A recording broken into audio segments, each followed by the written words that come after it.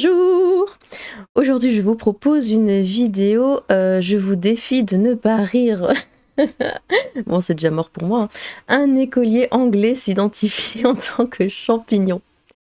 Ouais, ouais, on l'avait pas encore eu celui-là. Euh, ça devait arriver, hein, tout à fait, après que plusieurs de ses congénères eurent exigé d'être considérés comme des chevaux, hein, des chats, des dinosaures, hein, pourquoi pas? Un écolier anglais s'identifie en tant que champignon. L'histoire vraie ne dit pas s'il s'agit d'une. Pardon, ne dit pas s'il s'agit d'une girole, d'un cep, d'une mourie ou d'une amite phalloïde.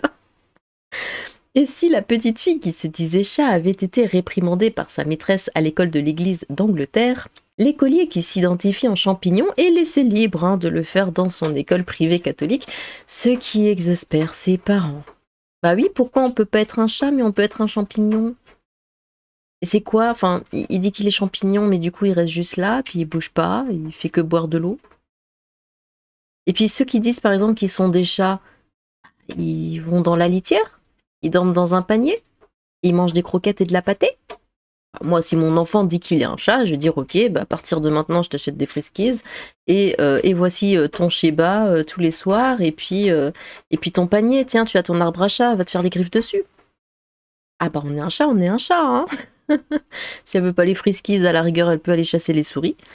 Mais mais voilà. Et puis ceux qui se prennent pour des chevaux, ben pareil, ils dormiront euh, dans un box euh, et mangeront du foin. Et puis évidemment, on saute sur leur dos et ils courent euh, en nous portant, bien sûr, parce que c'est ce que font les chevaux. Je sais pas hein, si avec ça ils resteraient chevaux et chats bien longtemps. Hein. Euh, il s'identifie comme un champignon, c'est ridicule. Euh, bon, écoutez, faut, faut respecter. Hein. On ne sait pas son nom, on ne connaît pas son école, car l'express qui révèle l'affaire veut préserver l'enfant. Les faits sont les suivants. Après avoir regardé le film animé par ordinateur Super Mario Bros, un jeune écolier s'est enjoué euh, pour l'un des personnages. Todd. Oh, mais oui, monsieur Choupi, qui est un champignon et depuis s'identifie comme un champignon. D'accord. Bon, bah, il s'identifie comme Todd, du coup. Cela exaspère ses parents. C'est simplement ridicule. Pourquoi l'école l'entretient-il dans l'idée de... Oui, alors ça, par contre, oui, ça c'est complètement stupide. Euh, vous savez quoi, petite anecdote de ma vie. J'ai été au centre aéré, euh, j'étais petite, hein, et euh, là, ils nous avaient montré Jurassic Park. C'était la première fois euh, que je le voyais. Euh, donc euh, voilà, c'était après-midi cinéma, entre guillemets, on a regardé ça sur la télé. hein. On a regardé Jurassic Park. J'ai adoré ce film. Enfin, tous les gamins, on a tous adoré le film. Quand on est sorti de, de la salle, hein, à la fin, on a joué aux dinosaures. On jouait tous euh, aux dinosaures. On courait, euh, on faisait semblant d'être des dinosaures, de se manger, enfin de, s'attaquer l'un l'autre, ce genre de choses. Et on aurait pu dire, bah oui, qu'à ce moment-là, on s'identifiait euh, en, tant que dinosaure. Mais voilà, après, bon, bah c'était l'heure de rentrer à la maison. Plus personne n'était un dinosaure. Et puis, puis voilà, je veux dire, ça c'est un truc de gamin de s'identifier comme ça, de se prendre pour un personnage qu'il aime bien ou quoi. Là, le problème, c'est que euh, ça s'étend jusqu'à l'école, qu'en plus euh, les, professeurs disent d'accord, j'accepte le fait que tu sois euh, un champignon ou un dinosaure ou autre. Non, ça, ça, ça va pas du tout. Ça va pas du tout. Mais je veux dire, pour un enfant, c'est tout à fait normal de s'identifier comme ça quand on a un personnage qu'on aime bien. Je pense qu'on l'a tous fait. hein. Voilà, c'est simplement ridicule. Pourquoi l'école l'entretient-il? Oui, ça par contre, ça n'a aucun sens. Dans l'idée de s'identifier en champignon, ce petit a besoin de soutien, pas qu'on flatte ses lubies. Euh, pousser un écolier à changer de genre, c'est ouvrir la porte. L'école n'a pas réagi, mais on peut présumer qu'elle se comporte ainsi par prudence. En effet, un professeur de Ray College, dans le Sussex de l'Est, avait euh, réprimandé une fille de 13 ans pour avoir contesté la lubie d'une camarade qui s'identifiait en chat. L'élève trop honnête avait été euh, dénoncé comme méprisable. Bah non, moi, moi quelqu'un me dit je suis un chat. Ok, bon bah déjà je vais aller lui faire des gratouilles sous le menton. S'il râle, je fais ah non non, hein, les chats adorent les gratouilles sous le menton, donc tu te laisses faire. c'est à ça qu'on voit s'ils sont réellement des chats ou pas. Euh, une enquête a été ouverte par le ministère de l'Éducation nationale anglais.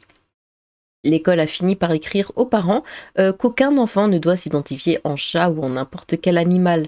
Euh, mais un membre de l'Union pour la liberté d'expression, Toby Young, a remarqué Si vous encouragez les enfants à s'affranchir de la réalité biologique en leur disant qu'ils peuvent s'identifier en individus du texte opposé, il est inévitable qu'ils s'identifient aux animaux ou même aux légumes ou euh, en champignons. Bah c'est vrai, pourquoi? Pourquoi ça, ça irait pas? Si on dit aux enfants oui, euh, tu es un garçon, mais tu peux complètement être une fille, il hein, n'y a aucun souci. Alors qu'on sait tous que ben, biologiquement parlant, c'est impossible. Donc pourquoi euh, est-ce qu'ils ne diraient pas bah, si je peux être une fille, bah, je peux aussi être un champignon, je peux être, je pas, une peluche peut être une paire de ciseaux. Enfin, oui, eux, ils ne voient, pas la différence finalement. Parce que de toute façon, euh, un garçon qui devient une fille, c'est impossible. Dire, on peut tout faire, on peut essayer de s'en rapprocher le plus possible, mais euh, un homme ne sera jamais une femme à proprement parler. Oui, je suis désolée s'il y a des trans qui m'écoutent, mais oui, si vous êtes un homme, vous ne serez jamais une femme à 100%, et ça, vous le savez très bien. Faut pas se voiler la face. Euh, mais vous pouvez vous en rapprocher le plus possible. Donc euh, à la rigueur, euh, ceux qui se prennent pour des chats, je sais pas, ils peuvent se faire implanter de la fourrure, s'implanter une queue aussi, des, petites oreilles, je sais pas, se, faire de la chirurgie aux, oreilles pour les rendre un peu plus pointues, faire de la chirurgie faciale, comme cette femme là qui, qui a fait de la chirurgie pour ressembler à une panthère. Bon, elle ressemble à rien, mais mais il y a ce genre de choses. Et puis des tatouages hein, pour faire, euh, euh, les, différentes colorations, tigré ou je ne sais quoi. Bref, anglais, protozoaire, euh, intertextué, champignons. On pourrait aller plus loin. Les biologistes comptent aujourd'hui sept règnes. Pourquoi les bambins anglais ne s'identifieraient-ils pas en bactéries? Protozoaires, archées ou chromistes, ce qui arrive à l'écolier dinosaure et à l'écolier champignon et l'intersection non, mais ça, c'est la vraie vie, c'est incroyable. Ce que je suis en train de lire, ça se passe dans la vraie vie, c'est dingue. Et euh, l'intersection de plusieurs phénomènes, on se croirait pas un petit peu dans Alice au pays des merveilles quand on voit ce qui se passe en ce moment?